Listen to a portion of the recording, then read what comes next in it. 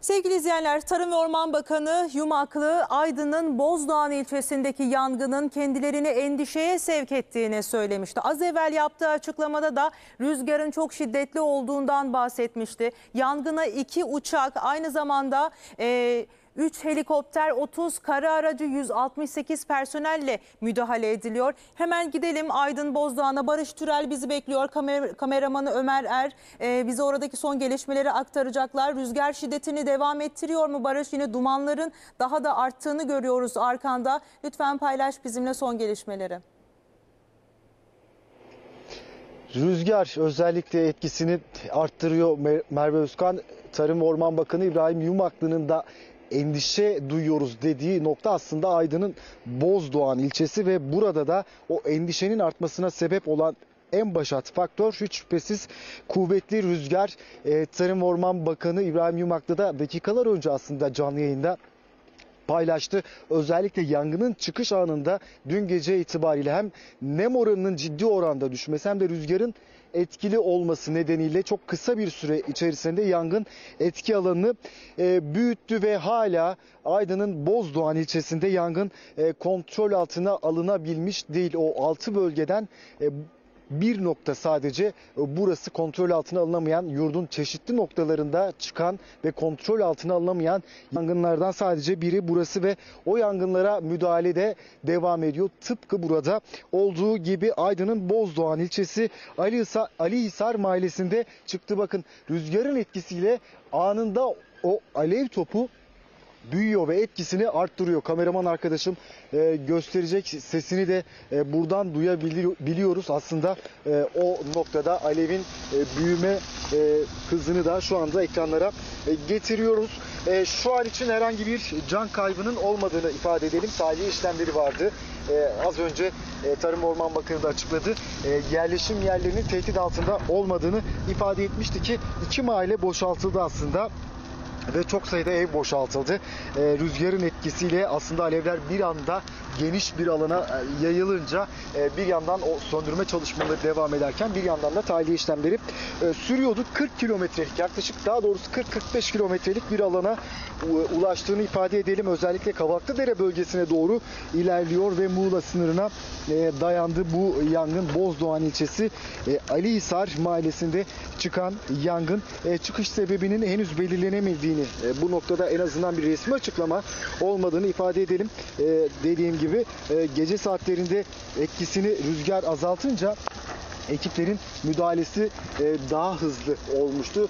Nem de %10'ların üzerine çıkınca tabii biraz daha yangının alevlerin enerjisinin düştüğünü ancak sabah etkisiyle bir enerji bir enerji arttığını ifade edelim yangının ve e, dediğim gibi çok sayıda mahalleden söz ediyoruz. Alihisar, Altıntaş, Örentat, Hışımlar, Güre mahallelerinde ormanlık alanda etkili oluyor. Biraz yangına müdahale çalışmalarından söz edelim. 8 helikopter, 7 uçak havadan, 32 arazöz, 11 su tankeri ve çok sayıda ekibin e, karadan müdahalesinin sürdüğünü ifade edelim. Dün gündüz ve gece boyunca ekipler çalışmalarına ara vermeden devam etti. Sabahın ilk ışıklarıyla beraber de hava müdahalesi tekrar başladı. Ee, Orman Bölge Müdürlüğü ekipleri, sağlık ekipleri, çok sayıda ekip burada. Bakın hemen kameraman arkadaşım gösterecek. Ee, bir yangının olduğu noktada e, rüzgarın etkisiyle yangın 1-2 dakika içerisinde 20 metrelik, 15-20 metrelik bir ilerleme kaydediyor ki gerçekten bu da e, daha çok alana yayılması noktasında endişe verici. E, sadece ekipler değil burada bölge halkının da yangına su tankerleriyle, traktörlerle müdahale ettiğini ifade edelim. Hemen kameraman arkadaşımdan da rica edeceğim. Sağ tarafımızda bir iş makinesi yangının etrafını kuşatmak adına aslında çevresini sarmak adına da e, toprakla işlem yapıyor. O noktada bakın e, çalışmalar orada da sürüyor. Yangının o noktaya geçmemesi adına da oradaki çalışmaları ekranlara getiriyor. Burada aslında ma- vatandaşlarla konuşma imkanımız oldu. Hani bundan önceki yayında da ifade etmiştik. Bir anız sebebiyle çıkan bir yangın mı veya işte farklı bir noktada olduğu gibi bir tüp patlaması veya bir izmarit farklı bir yangın, farklı bir ateş sonucu mu çıktı bu yangın henüz bilinmiyor ancak e, burada yaşayan vatandaşların bu bölgenin sakinlerinin özellikle anız yangınının burada bir e, otluk alanda yapılan yangının bu, bu noktada büyüdüğü yönünde e, ciddi Evet, oranda Barış, düşündüklerini söylediler. bu arada, Buna daha çok e, ihtimal verdiklerini ifade ettiler. Alevlerin sesini biz de buradan çok net alabiliyoruz. Hakikaten fazlasıyla da ürkütücü bir sesten söz ediyoruz. Ee, seyircilerimiz de eminim bizimle aynı duyguyu paylaşıyordur. Ee, nedenli büyük bir yangın olduğunu aslında gözler önüne seren bir görüntü ve ses var şu anda arkadaşlarımızın bulunduğu bölgede. Rüzgar şiddetini arttırıyor sanki Barış. Biz e, buradan öyle görüyoruz ama çünkü alevlerin yönüne doğru da yine bir artış söz konusu var. E, rüzgarın yönüne doğru alevler e, daha da artıyor gibi. O noktada yine e, az evvel de gördük e, vatandaşlar da yine kendi imkanlarıyla da e, o noktada yardımcı oluyorlar. E, yine orada bulunan tüm ekiplere. Rüzgar şiddetini daha da mı arttırdı? Bir de nem oranı nasıl? Orada aslında e, nehirde olduğu için o bölgede nem oranının yüksek olduğunu da tahmin ediyoruz. Biliyorsunuz sevgili izleyenler e, eğer ki kuruysa hava daha da fazla e, yangına müsait bir ortam oluşuyor. Üstelik bir de rüzgar varsa ancak bulunduğu bölge e, yine belki biraz daha nemli olabilir diye de tahmin edebiliyoruz ama rüzgarın etkisiyle yangın şu anda her geçen dakika daha da artıyor gibi görünüyor. Görünen hem ses hem de o görüntüler arkadaşlarımızın şu anda bize yansıttığı kadar. E, nasıl Barış şu an rüzgar daha da şiddetlendi sanki. Rüzgar zaman zaman şiddetleniyor şu anda zaten e, o sesleri de duyuyorsunuz. Hem o rüzgarın getirdiği bir ses hem de rüzgarın e, gelmesi sonucu o yangının büyümesiyle o çıtırtı seslerinde zaten ekranlara geldiğini ifade ettiniz. Tabii nem oranı e, az önce de ifade etmiştim. %10'ların altına düştü dün gece e, saatlerinde. Tabii %30'un altına düşmesi büyük bir risk, ciddi bir e, tehdit aslında. Hem yangının daha hızlı şekilde büyümesi açısından tabii buna bir de e, rüzgarın şiddetli olmasıyla yangın gerçekten büyüyor diyebiliriz. Tabii bakın rüzgarın etkisiyle az önce bulduğumuz noktada alevler parkı daha gerideydi ve kısa bir süre içerisinde hemen o noktaya ulaşmış vaziyette. Tabii bir de burada yayın yapmak oldukça e, zor şu anda nefes almakta dahi güçlük çektiğimizi ifade edelim. E, rüzgar etkisini arttırıyor. E, sabaha itibariyle yani aslında sabah saatlerine nispeten o, etkisini biraz daha arttırmış vaziyette ki bunun aslında hiç iyi bir şey olmadığını biliyoruz. Ee, Biliriz ki rüzgarın etkisi azalır. Zira e, farklı noktalara doğru yayılıyor. Çok geniş bir alana doğru yayılıyor. Özellikle Muğla sınırına doğru, Kabaklıdere e, bölgesine doğru e, 40 kilometrelik, 40-45 kilometrelik bir e, alanda etkisini Yarın da iknası e, zaman zaman şiddetini arttırıyor. Zaten o sesi de duyuyorsunuz diye tahmin ediyorum. Zaten Barış o bölgeyi- peki bulunduğunuz bölgede e, yerleşim yerlerine de yakın mı yaklaştı mı yangın? yerleşim e, yerleri var burada. E, çok yoğun olmasa da tek tük evlerin olduğunu ifade edelim. Tabii e, o evler de tahliye edildi zaten. Ancak e, ciddi bir tehlike yok o noktada. E, onu ifade etmiş olalım. Tabii ormanlık alanının içerisinde kümelenmiş farklı noktalarda, farklı e, lokasyonlarda kümelenmiş evler var ve o evlerin tahliye edildiğini ifade edelim. Az önce zaten Tarım ve Orman Bakanı Yumaklı'da açıklama yaptı. E, Bozdoğan'da şu an için e, yerleşim yeri noktasında herhangi ciddi büyük bir tehlike yok ki zaten o tehlike olan noktalarda da iki mahalle boşaltılmıştı. Çok sayıda ev boşaltılmıştı ancak bu alanda özellikle e, benim gördüğüm, görebildiğim bir yer- yerleşim yeri e, tabii şu an için yok burada. E, dileriz ki zaten bir yerleşim yerine de sirayet etmez. Evet inşallah Tabii şunu da ifade edelim biz de, Merve e, Özkan. Evet e, buyur.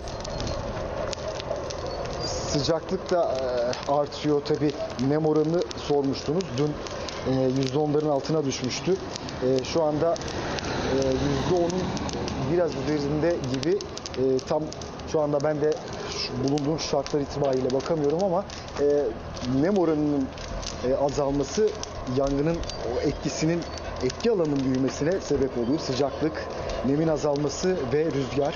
İşte bu üç faktör yangının daha hızlı e, alan değiştirmesinin, alan genişletmesinin en büyük sebebi ve bunlar da maalesef şu an için e, bu şartlarda ve e, böyle bir tabloyla karşı karşıyayız diyebiliriz. Tabii biraz uzaklaşalım istersen.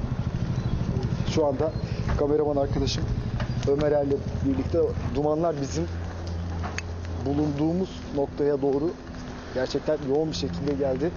Evet, Ve, e, Bu noktayı savrulduğunu şu an görüyoruz. itibariyle biraz Ee, oradan e, maalesef yanan ağaçlardan gelen o küller de e, kameralara yansıyor sevgili izleyenler. Tam olarak e, şu anda Barış Türel ve Ömer Er kameramanı yangının tam ortasında diyebiliriz. Size lütfen dikkat edin kendinize o noktada. Ee, bir taraftan ben de baktım bugün en yüksek 39 derece bekleniyor Bozdoğan'da. Ee, yine meteorolojinin verilerinde en düşük 20. Nem oranı anlık yir- %26 olarak gösteriyor. Yani nem oranının her geçen dakika e, ya da saatte düşmesi de maalesef rüzgarla birlikte Bozdoğan'daki yangını daha da e, arttırabiliyor. O yüzden diliyoruz ki hem e, rüzgar bir nebze durulsun. E, çünkü rüzgarın etkisiyle çok ciddi bir şekilde sesini de duyuyoruz. Rüzgarın da sesini duyabiliyoruz. Ara ara şiddetlenen rüzgar maalesef o noktada yangının ilerlemesine daha müsait bir ortam oluşturuyor. Yine tahliyeler de var. Ee, hala devam eden tahliyeler var mı? Tüm oradaki e, yerleşimdeki evler boşaltıldı mı Barış? Hala tahliyeler devam ediyor mu? Devam eden tahliyeler var e, Merve Özkan. E, Özkan'la birlikte burada gezdik biraz farklı noktalara gitmeye çalıştık. E, dediğim gibi farklı lokasyonlarda birbirleri birbirleriyle olan bağlantılarının e, çok uzak olan evler var ve o evler tahliye edilmiş vaziyette. Daha doğrusu genelinde Hışımlı Mahallesi'nde değil sadece yangının başladığı e, noktada e, Güre bölgesinde mahallesinde evler vardı ve yangın özellikle bu alanda etkili olduğu için burada evler boşaltıldı ve tahliye işlemleri de zaten e, devam edecektir. Risk zaten artarsa e, daha da artacaktır diye söyleyebiliriz. Hemen o mahalleleri bir kez daha notlarıma bakarak ifade edeyim. Alihisar'da e, başlamıştı. Altıntaş, Örentat, Hışımlar, Güre ki bizim bulunduğumuz nokta